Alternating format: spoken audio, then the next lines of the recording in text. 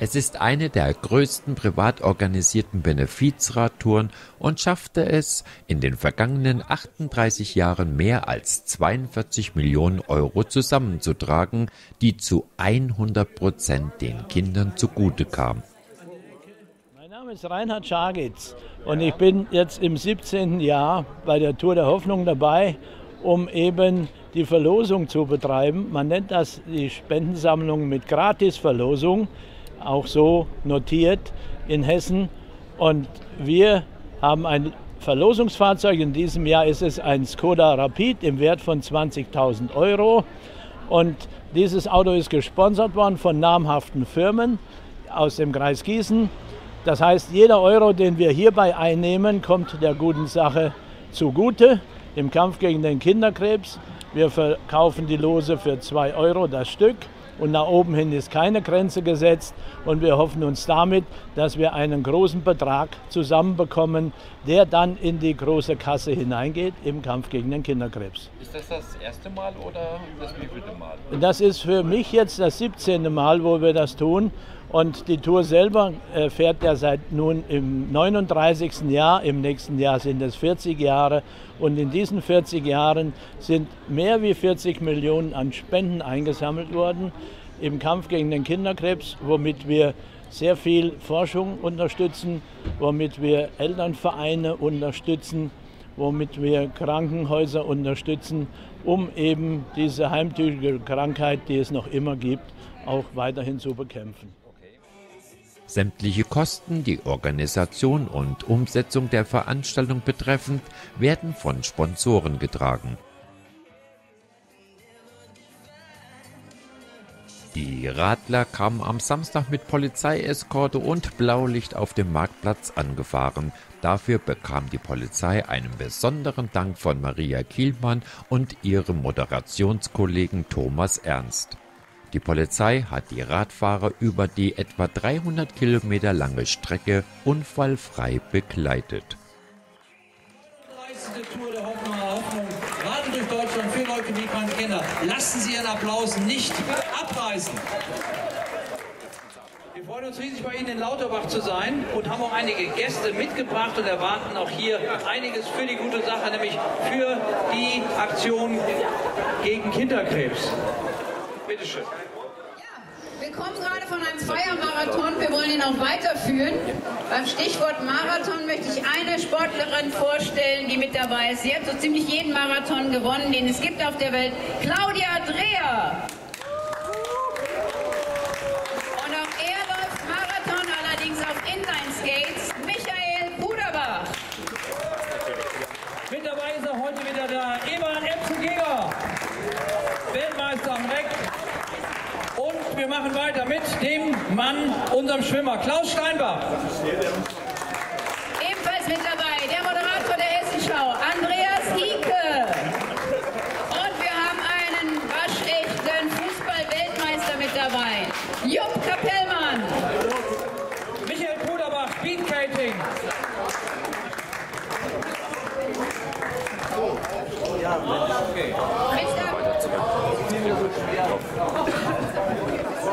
Ja, und natürlich ist sie wieder dabei, hier vorne am Mikrofon, Marina Kielmann, dreifache Eiskunst Deutsche Meisterin. Kräftigen Applaus. Wir machen gleich hier vorne weiter und freuen uns auch, natürlich unsere Schirmherrin bei uns zu haben, Biathlon, Petra Behle.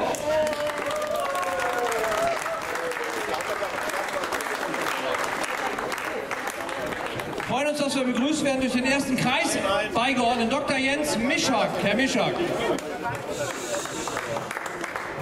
Ja, liebe Marina Kielmann, lieber Thomas Ernst und vor allen Dingen liebe Teilnehmerinnen und Teilnehmer der 39. Tour der Hoffnung. Willkommen im schönsten Landkreis Hessens, im Vogelsbergkreis und in der wunderschönen Stadt Lauterbach. Alle Bürgerinnen und Bürger einen herzlichen Applaus für die Teilnehmer der 39. Tour der Hoffnung.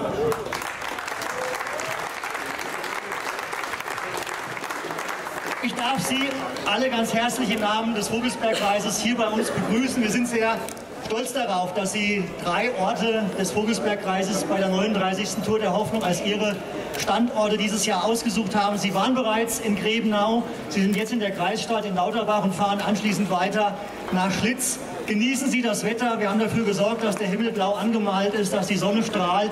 Für Sie ist es sehr heiß. Sie können sich jetzt ein bisschen abkühlen hier auch bei unserer Eisdiele. Und wir sagen herzlich Danke dafür, dass in diesen 39 äh, Jahren seit äh, 1983 ähm, viele, viele Radkilometer, um die 12.500 äh, Kilometer und darüber hinaus äh, einiges an Geld äh, zusammengekommen ist. Und auch in diesem Jahr hat hier die Kreisstadt und die Region dafür gesorgt, dass die Summe noch ein Stück wachsen kann. Das ist, wie man auch heute sieht, gelebter Gemeinsinn. Es geht eigentlich nicht besser, was für die gute Sache zu tun, sich dabei auch noch sportlich zu betätigen. Und äh, wir freuen uns darauf, wenn Sie auch in zukünftigen Jahren die Region wieder auswählen. Wir sollen es kurz machen, das will ich tun, darf Ihnen abschließend auch vom Kreis eine kleine Zuwendung mit auf den Weg geben. Für Sie vor allen Dingen noch unfallfreie Fahrt. Herzlichen Dank und alles, alles Gute. Bleiben Sie gesund.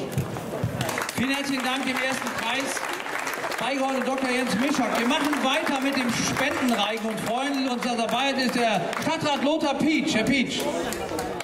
Ja, herzlichen Dank. Mein Name ist Lothar Pietsch und ich begrüße Sie ebenfalls alle ganz herzlich äh, und freue mich, dass Sie, die Organisatoren der Tour der Hoffnung in diesem Jahr Lauterbach als eines der Etappen-Zwischenziele ausgewählt haben. Allen Teilnehmerinnen und Teilnehmern ein herzliches Willkommen Gerne beteiligen sich die Bürger, Vereine, Gewerbetreibende und Vertreter von Industrie und Handel aus Lauterbach und seinen Stadtteilen an dem Spendenaufruf zum Kampf gegen den Kinderkrebs. Und gerne haben wir, die Stadt Lauterbach, diesen Zwischenstopp für Sie, die Teilnehmer der Radtour, organisiert. Unterstützt wurden wir unter anderem durch Velo Kultur Biker Tour. Danke für die Zurverfügungstellung des Beitrags den Getränken und Snacks. Danke, Herr Nüchter, für Ihr Engagement. Weitere Erfrischungen werden durch das Fahrradtaxi und Lastenradzentrum Lastorado Lauterbach zur Verfügung gestellt. Danke, Frau Müller. Es ist mir eine Freude, hier und heute im Namen folgender Personen, Vereine, Unternehmen aus der Stadt und Stadtteilen von Lauterbach die im Rahmen der Tour eingegangenen Spenden an Sie, die Vertreter der Tour der Hoffnung, zu überreichen. An der Spendenaktion haben sich beteiligt der Familienverein Mobile e.V., vertreten durch Frau Liller. Die Frau, die, für die Familie Rinke, äh, vertreten durch Frau Satia Rinke. Die SCI Group Lauterbach, eine Spende ist eingegangen von der Netzfabrik Rudolf Baumbach Lauterbach. Unternehmensberatungsgesellschaft äh, Heiner aus Frischborn. Karaman Gebäudereinigung, vielen Dank Herr Karaman für die Spende. Die Waldgesellschaft der Riedesel, Freiherr zu Eisenbach, ebenfalls vielen Dank für die Spende. Pfeiffer Holz GmbH Wallenroth, Rotronic Elektroniksystem GmbH Lauterbach, Herr Steven Lomp, Volksbank Lauterbach-Schlitz. Vielen Dank, Herr, Laut, Herr Lautschläger, ich habe Sie ja schon unter dem Publikum gesehen. Ortsbeirat Rimlos, äh, die Familie Thilo und Susanne Staffer, Backhausverein Rimlos, Herr Kurt Wiegel, die Firma Reifenbrot, vertreten durch Herrn Klaus Brot, Bauart, beratende Ingenieure, Lauterschätze, Frau Dagmar Brabant, dann äh, Posthotel Johannesberg, vertreten durch Herrn Rainer Dietz, die Sparkasse Oberhessen, vertreten durch Herrn Weller. Und die Firma Senetcon GmbH, vertreten durch Sabine Martini-Hanske.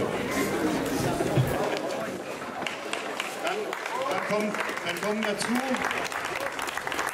Döll und Partner Lauterbach, die Buchhandlung Lesezeichen Lauterbach, ehemaliges ähm, Uhrengeschäft Mehring Lauterbach, die Bäckerei Günther in Lauterbach, die Wellnessinsel in Lauterbach, Habauer Optik in Lauterbach, ehemal Fotopost, die Bahnhofapotheke, die Pizzeria Firenze in Lauterbach, nochmals die Sparkasse Oberhessen, äh, nochmals das Posthotel Johannesberg, das äh, Rechtsanwalts- und Notarbüro Finnefroh, Wolf und Schul, nochmals die Volksbank Lauterbach-Schlitz mit einer Spende, das Geschäft Sportriegel, vertreten durch Herrn Trabant, die äh, Frau Luft, Stadt, äh, Kaffee Stadtgeflüster, vielen Dank Frau Luft, Lichtspielhaus Lauterbach, Restaurante Pizzeria La Piazzetta, Herr Rosano,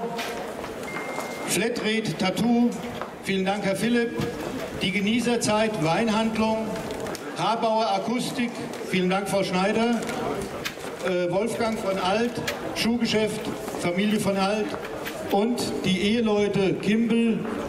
Ebenfalls habe ich Sie gesehen, dass Sie hier mit am Platz anwesend sind. Vielen Dank.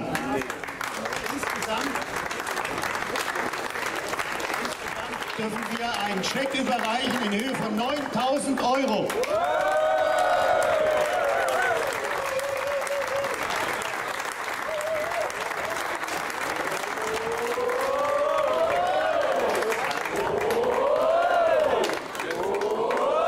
Wir sind der Meinung, das ist Aber damit nicht genug. Ähm, Oder wollen Sie das ankündigen? Eine weitere Spendenübergabe liegt ja vor und der Vertreter ist ein aktiver, ein aktiver aus Lauterbach. Das mache ich sehr, sehr gerne. Das war ja schon eine ganz schön beeindruckende Liste, aber die ist nicht zu Ende. Denn ihr kennt, viele von uns kennen ihn. Er ist lange Jahre mitgeradelt, hat mir gerade ein Foto ein gemeinsames gezeigt von vor 19 Jahren. Kann ja gar nicht so lange her sein. Ne? Wir sehen noch knackig aus, hat er gesagt. Ja klar. Als Vertreter des Lions Clubs, Dr. Reinhard Gößler.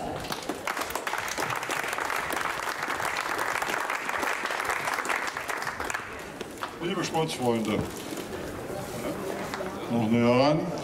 Es ist für mich eine Ehre, hier heute zu stehen. Und ich möchte nur eine ganz kleine Geschichte erzählen. Ich, lauter! So! Ja, Lauterbach! Lauterbach. Es war im Jahr 1993. Wollen wir reinsprechen? Dankeschön, das ist der Hessische Rundfunk, weiß das. Also 1993, äh, da haben wir den leider verstorbenen Vater der Tor der Hoffnung, den Helmut Becker, eingeladen hier, äh, äh, Gerhard Becker eingeladen hier nach Lauterbach. Und der hat uns damals einen Vortrag im Lions Club gehalten und hat uns erzählt, was nochmal Kinderleukämie ist und ja, und wie wir da helfen könnten und so weiter. Ich will das jetzt nicht so ausdehnen. Und dann hat unser Lions Club sich in diesem Jahr diesem Thema gewidmet, hat eine Tombola gemacht und viele andere Dinge und eine größere Summe übergeben. Und nun stehe ich heute nach äh, 29 Jahren wieder hier. Und äh, ich muss noch dazu sagen, der Gerhard Becker hat meine Frau und mich, der wusste, dass wir Rennradfahrer sind, immer wieder eingeladen mitzufahren. Und wir sind aber immer nur die äh, Pro-Tour mitgefahren rund um Gießen, 70 Kilometer. Und haben Spenden eingesammelt, so wie ihr heute. Und wir haben Spenden mitgebracht. Und naja, und äh, das ist eine alte Freundin von mir, der habe ich hier gerade ein wunderbares Foto geschenkt aus dem Jahr 2003. Nun habe ich aber was mitgebracht. Äh, Im Auftrag meines Lions Clubs überreiche ich hier wieder einmal einen Goldbarren.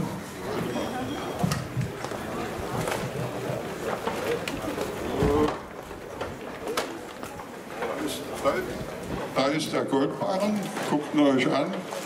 Der ist aber, ich wollte ihn hochheben, er ist interessanterweise sehr leicht. Er ist also nicht so schwer wie jetzt ein richtiger Goldbarren wäre. Er ist nur eine Umhüllung von einem äh, Überweisungsformular, das wir als Lions Club an die Tour der Hoffnung geben. Und äh, das könnt ihr euch nachher mal angucken. Und das wollte ich da mal überreichen. Doch, die Marina hat schon drunter gelinst, aber sie guckt jetzt noch mal genauer. Es sind 1000 Euro. Damit sind die 10.000 Euro. Die anderen Leute haben Frau gebracht, die haben 9.000 und wir 1.000. Das ist eine schöne runde Summe. Ich wünsche euch weiter viel Erfolg und vor allen Dingen keine Unfälle. Ich habe auch in den letzten Jahren, wir sind ja ein paar Mal mitgeradelt, Massenstürze erlebt und das ist sehr unschön. Und ich hoffe, dass ihr verschont bleibt. Danke, tschüss. Ja, bleibt gesund. Ja, vielen, vielen herzlichen Dank unserem langjährigen Mitrat Dr. Reinhard Göster. Lieber Reinhard, schön, dass du heute bei uns bist. Vielen, vielen, vielen, vielen Dank. Ruhig bei uns bleiben, natürlich, selbstverständlich. Wir stehen heute natürlich auch unter dem Namen, radeln wir, eines großen deutschen äh, Lebensmittellieferanten. Ich weiß nicht, was ihr sonst noch alles verkauft. Freue mich, dass sie extra zu uns gekommen ist. Weite Anreise heute. Sie ist bei uns von der Firma Lidl, freuen wir uns. Die Juliane Wili bei uns. Herzlichen Dank. Kommt ruhig zu uns. Ja hat schon gesagt, sie ist ganz traurig, dass sie nicht mit dem Rad heute mitfahren kann, aber vielleicht nächstes Jahr, oder? Ja, also nächstes Jahr würde ich definitiv gerne mit dem Rad mitfahren. Ähm, ich halte mich auch kurz. Äh, ich finde es toll, wie viele von Ihnen sich so aktiv für so etwas, oh, für so etwas Tolles äh, engagieren. Weil damit geben Sie den Menschen genau das, was sie auch versprechen und das ist die Hoffnung. Also ich finde es toll und ich finde es auch sehr schön, dass wir zumindest als DIGE einen kleinen Beitrag dazu ja, mit beitragen können. Wir haben einen äh, großen kleinen Scheck vorbereitet in Höhe von 5000 Euro.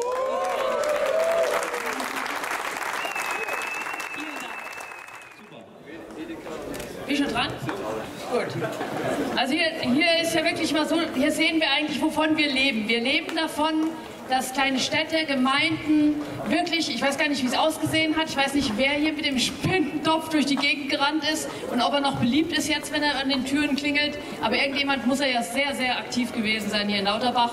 Und um die Liste, als ich vorhin die Liste gesehen habe, da sage ich, da stehen wir jetzt ein bisschen länger, aber es hat sich wirklich gelohnt und wir sind sehr, sehr glücklich, dass Sie so viele Menschen hier in ihrer Stadt Lauterbach bewegen konnten zu unseren Gunsten bzw. eben zugunsten der Kinder, für die wir radeln, etwas zu tun. Danke, danke. Wir haben aber auch wir erreichen aber auch große Unternehmen, bundesweit und europaweit bekannte Unternehmen. Auch dort gelingt es uns, Türen zu öffnen, vielleicht auch Herzen zu öffnen. Irgendeiner muss es am Ende ja entscheiden, dass wir begünstigt werden. Und so gelingt es uns eben auch von einer Firma Lidl, einen Scheck über 5000 Euro entgegenzunehmen. Und das zusammen, eben diese, ja, wie soll ich sagen, dieses Gemeinschaftsprojekt in den Gemeinden, in den Städten, ganz viele Menschen zu kleinen und großen Beträgen, dann zu einem ganz großen Betrag zusammenzubringen, aber auch die Unternehmen auf unsere Seite zu holen, das ergibt eben letztendlich die Spendensumme, ja, die wir vielleicht heute Abend hoffentlich dann verkünden können und mit der wir ganz sicher wir ganz, ganz viel Hilfe leisten können. Und deswegen an alle Beteiligten, auch für den ganz großartigen Empfang heute und für die, die an den Getränkeausgaben und überall waren und die Bühne aufgebaut haben, ganz, ganz herzlichen Dank. Petra Behle, ja.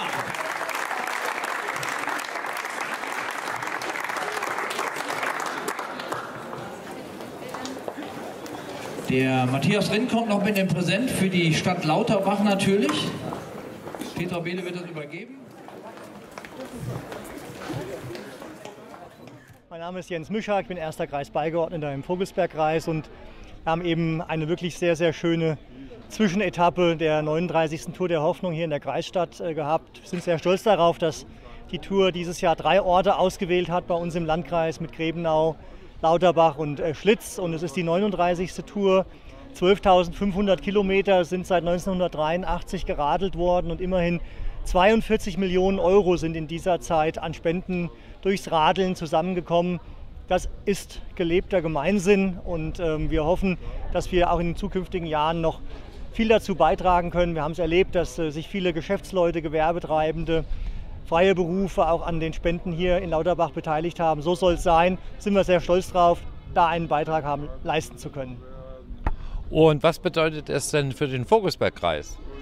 Naja, dass wir attraktiver Standort sind, ähm, auch für den Sport und vor allen Dingen für den guten Zweck. Ähm, wir sind ja nicht zum ersten Mal auch Teil dieser Tour und äh, hoffen darauf, das sagte ich schon, dass es auch in zukünftigen Jahren so sein wird, dass wir uns damit ein Stück weit beteiligen können und helfen können.